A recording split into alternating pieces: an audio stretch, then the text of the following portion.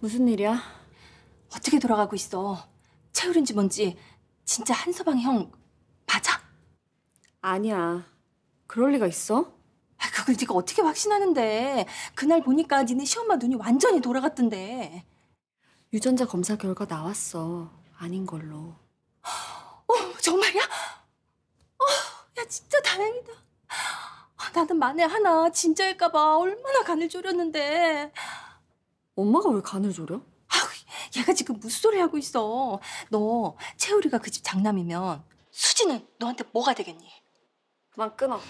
야, 하늘이 도왔기에 망정이지. 하마터면 채울이가 네 시아주버님이 되고 수지가 네 손이 동서가 될 뻔했어.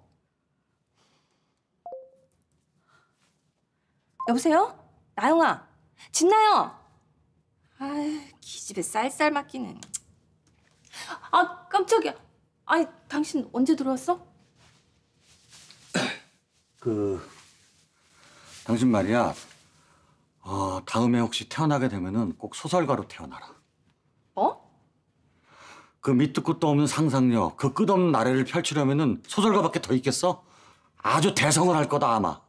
뭔 소리야? 자 보자. 채우리가 나영이 시아주머니, 그리고 수지가 그 윗동서라고. 아니, 나는 혹시라도 그렇게 될까봐 잔뜩 쫄았는데. 아니래. 벌써 좀 났나 봐. 아 당연히 아니지 그럼 이 사람아. 그게 말이 되는 소리를 해. 선영 언니랑 수지 배 좀 아프겠다. 안 그래? 아 정말 막 갖다 버릴 수도 없고 갖다 버리긴 아깝고 정말 돌겠네 진짜.